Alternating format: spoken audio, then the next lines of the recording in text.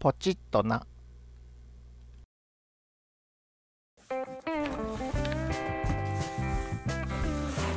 こんにちは、マイクです。今回はドローンを購入してましたので、その開封動画になります。えー、と私が購入しましたのは、ポーテンシックっていうんですかね、あの T25 2.4kGHz FPV リアルタイムビデオイメージトランスミッションクワッドキャプコプターですね。えー、っと GPS& Follow Me って書いてあります、えー、14歳以上ということですね。で段ボールを開けますとアタッシュケースのようなあのケースが出てきます。でもようなですのでアタッシュケースより頑丈ではありません。すごく軽いです。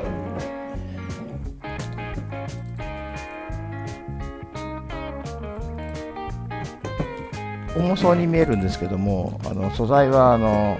鉄とかステンレスとかではなくて多分あのアルミとかあの合板をですね対応しているのでものすごく軽いと思いますね。すごく軽いです、えー、中見ますと、えー、説明書翻訳付きの説明書もありますし原版っていうんですかね。英語だけの説明書も入ってます。T25 というタイプですね。18、25、35っていうのがあのラインナップであるそうなんですけども、これは真ん中の25というタイプです。まあ、何が違うかってちょっとよく分かりませんけども、えー、まあ、プラットフォーム自体は一緒だと思いますので、まあ、ちょっとした機能の違いなのかなって思います。まあ、なので真ん中を選びました。で価格はですね、Amazon さんで1万9999円、まあ、約2万円ですね、の商品になります。比較的あのレビューの方がですねあの、いいレビューだったので、まあ、初めてのドローなんですけども、トイゾロドドローンです練習してからとも思いましたけども、まあ、あのこの機会ありましたので、ご縁があってですね、T25 を購入させていただきました。本体もですね、非常に軽いですね。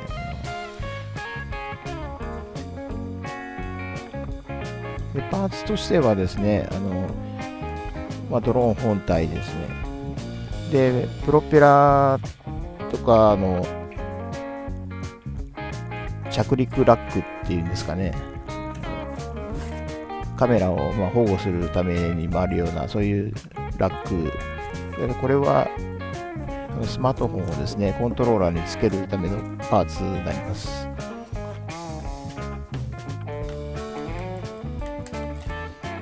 トローラーもですね、もうあのプレイステーションとですとか、もうあの任天堂もそうですけども、あのまあ、よくあるゲーム機と、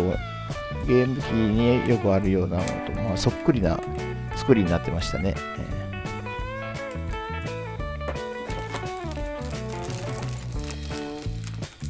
で、替えのプロペラが1セットあります。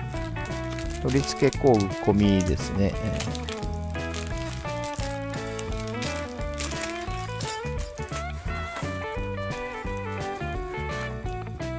プロペラガードですね。これがワンセットと、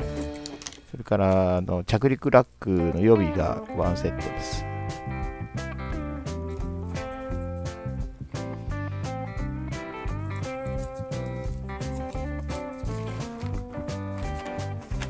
これもですね、どれもこれも軽いですね。あと、あの USB ケーブル、充電のケーブルですね、が入ってました。それと、バッテリーですね。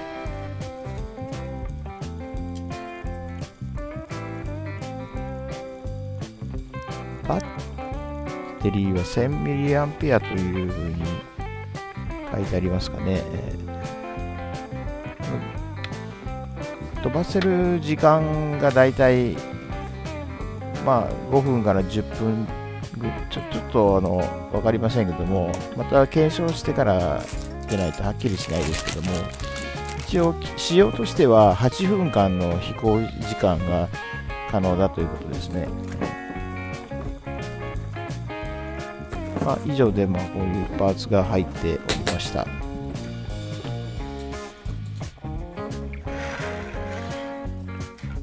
で早速ですねあの設定の方をやっていきたいと思います。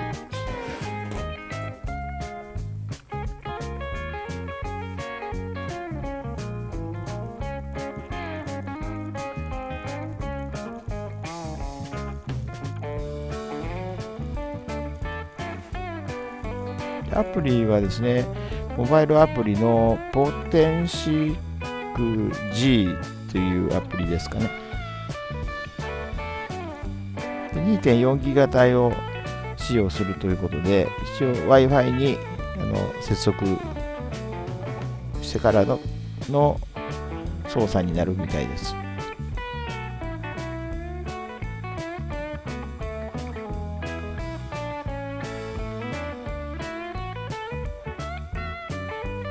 で、Android の4.0ですね、4.0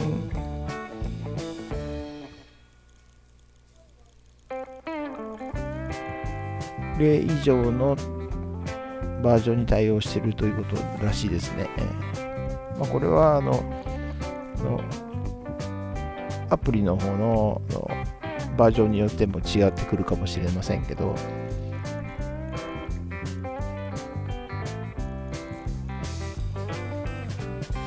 最初ですね、アプリが1つで、あの先ほど申しましたように、機種が3種類あるわけでして、そのアプリ上、アップル立ち上げた時にはですね、T の18というのが選択されておりまして、で、あの、それでスワイプをしていきますと、25、35っていう風に変わっていくので、自分の端末が、端末がすみませんあの、自分のドローンがどの機種かということを一応選んで設定するような形になります。これは後から気づいたんですけども、なぜあの同じアプリアプリは同じなのに T18 になってるのかなっていうふうに思ったんですけど切り替えがスワイプでですねあの切り替えができるような形になってて設定画面から切り替え切り替えることができないみたいなんですよねなのでアプリを立ち上げたら必ず最初に T18 が出てきますので25っていうのを選び直してそれから設定するのに飛ばすためのの操作をするということになってくるみたいなことですね。はい。最初だけちょっとですね、その仕組みがわからなかったので、あのちょっと戸惑ってしまって、今バタバタしてますけども、いろいろなんか調べたりして、本当にこのアプリでいいのかなっていう思ったりしました。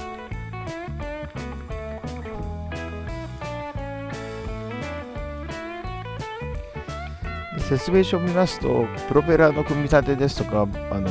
カメラの取り付けとかって書いてありますけども、プロペラもカメラももう組ま取り組まれ組まれてますので、もう本当にあとはコントローラーとあのスマートフォンの画面をあの合体させるだけで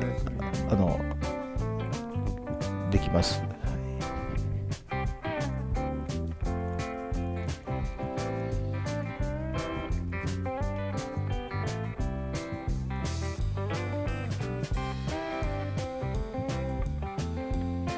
これ見られてるあの動画見られてる方はですね、まあ、あのこれで間違えないようにあの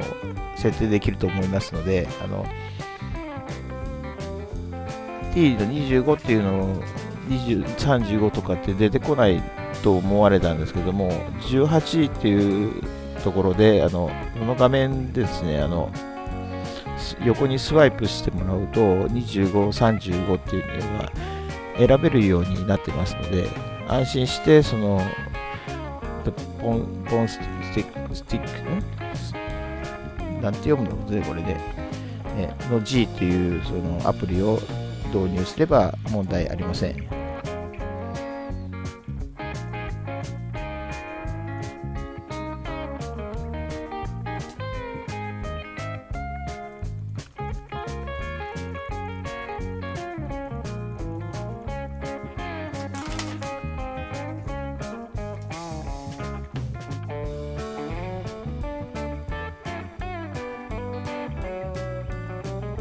えー、組まれているバッテリーはですね、容量が1000ミリアンペアアワーってなってますね。えー、電圧3.7ボルト、バッテリータイプ LIPO ってなってますね。えー、リチウムってことですよね。えー、エネルギーが3.7ワットアワー。で、賞味重量という、賞味重量というのね、バッテリーのそのリチウムイオンですかね、容量自体が 40g ということで、めちゃくちゃ軽いですね。でパワーがあの可変式で 5, 5, 5ワットから10ワット、ワットから10ワット。で充電時間が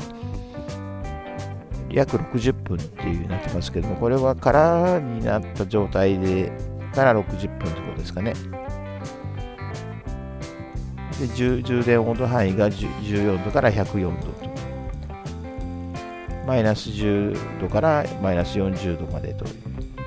いう仕様になっているみたいです。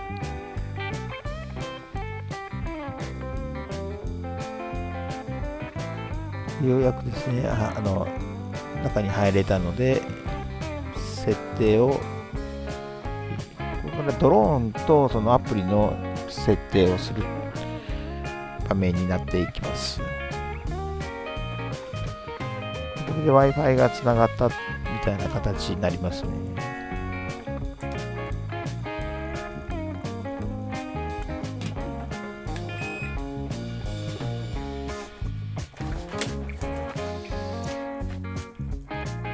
スイッチを入れる順番とかも厳密にはあるみたいですので、それ、まあ、あの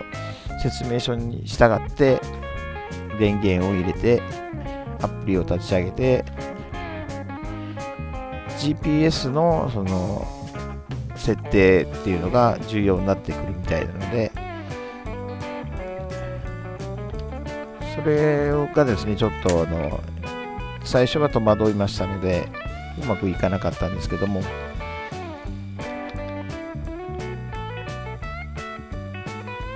これはですね、多分室内でやるよりも野外で屋外でやった方がいいと思いますね。あの GPS があの拾える感度が変わってきますので、これは今あの SD カードをですね、64ギガタイプですかね、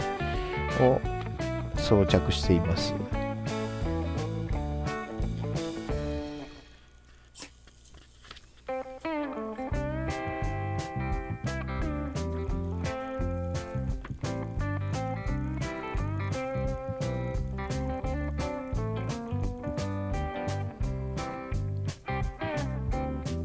飛ばせる距離がですね、あの距離であの時間がですね8分とかっていうことなので、64ギガあっても使いこな使い切れないかもしれないですけども、一応あの HD ですね、1920×1080 のあの仕様であの録画するようになってます。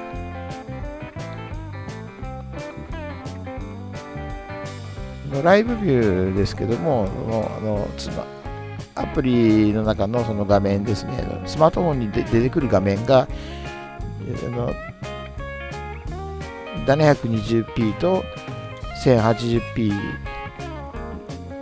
に切り替えができるということですね。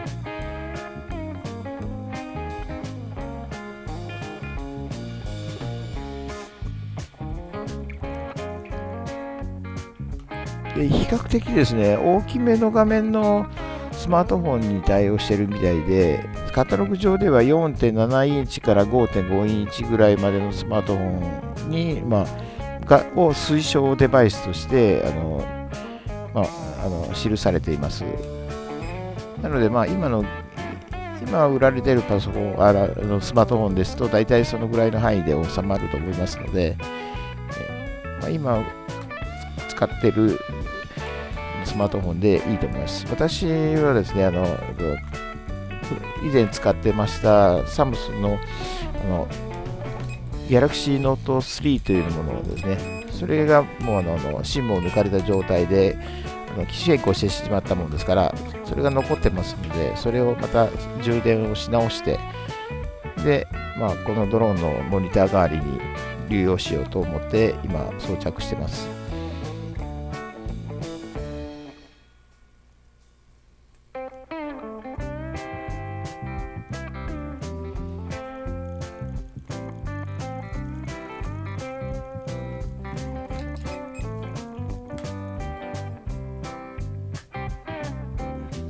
かね、うまくいかないんですよね。これ多分 GPS をうまく拾いきってないのか、それから不安定になってるのかってことですよね。あちなみにこの本体はですね、200g 以下なので、その電波波の影響を受けないような、ようなまあ、申請がですね、あのそういう細かなせあの手続きがいらずにあの飛ばせるというそういう製品になってます。な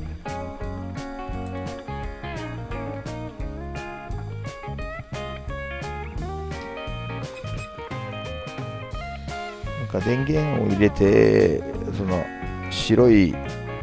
点滅青い点滅とかってこう色分けされた点滅でですね設定の確認ができますのでで後方を前に向けた状態で360度を回転させるですとかでドローンを下下向きにしてですね下にあの斜めに下向きにして斜め下向きにして一周させる。と360度回転させるっていう。そうするとあのアプリの方であの認識してばせるような準備に入る入れるということみたいですね。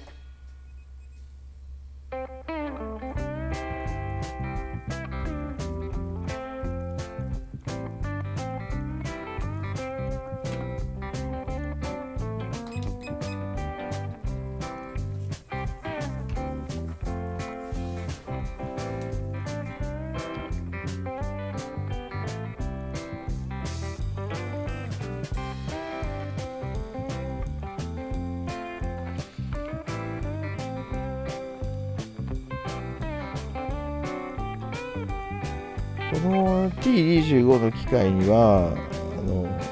通常の飛行以外にですねいろいろとあの機能があるみたいです。えー、っとですね代表的なのはヘッドレストモード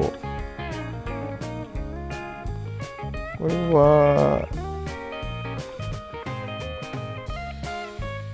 前方に操縦者がいるときですねその送信機とドローンをヘッドレストモードにするとそのこちらの方に向いてカメラが向いてくれるとそういうモードみたいですね。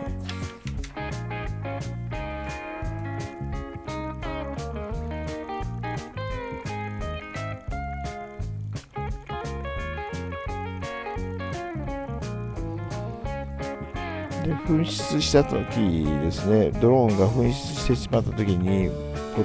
ボタンを3回あのクリックするですね。それはあのアプリ上の画面で GPS の絵が出てきてますのでそれを3回押すと紛失したドローンの捜索をしてくれるというですね地図が出てくるわけで、はい、で Google マップが開いてですねあのどこにあるよっていうのがその地図上で出てきます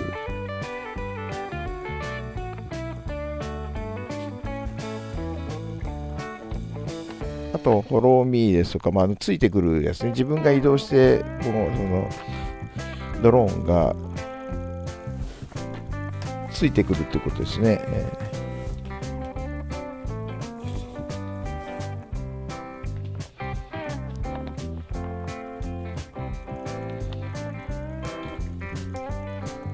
で動画の説明がありましてねですねそれにはですねなんか楽しそうにこうドローンを飛ばしてて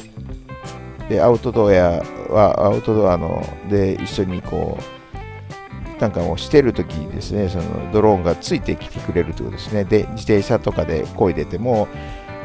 ドローンが自分を自分のを向いてですねあのついてきてくれるというまあ当然あの撮影ができてるわけですのでと自分が自転車を漕いでるシーンをですねドローンが撮影してくれるということですね、えー、そういう機能もあるみたいです。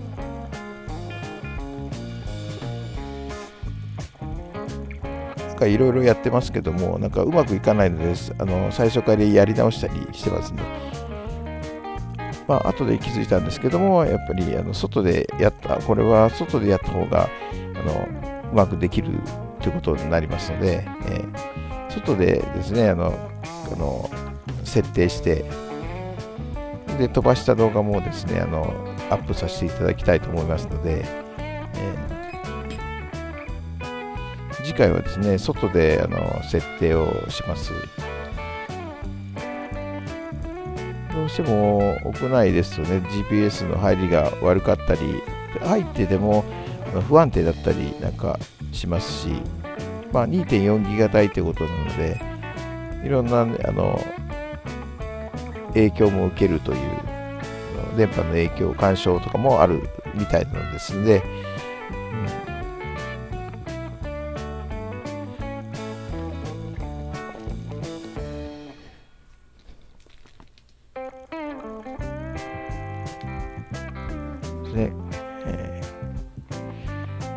いろいろやってますけども、ちょっと試行錯誤してやってますね。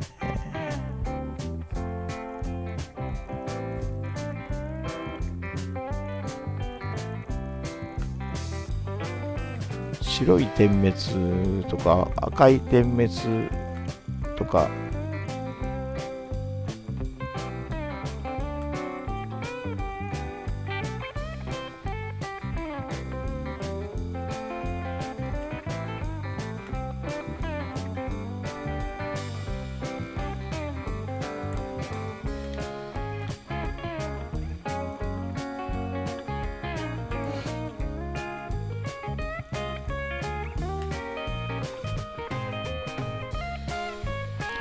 りあの設定のネックはですね GPS のをいかに拾えるかということですよね。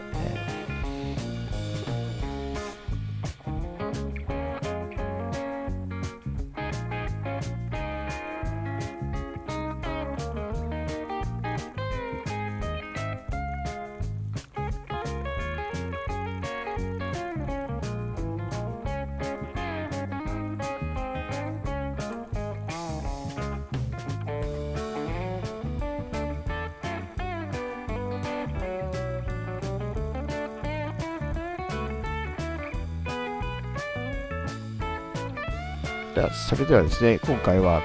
この辺りで失礼いたします。次回はですね、外であの設定した時の模様と、それから飛ばす、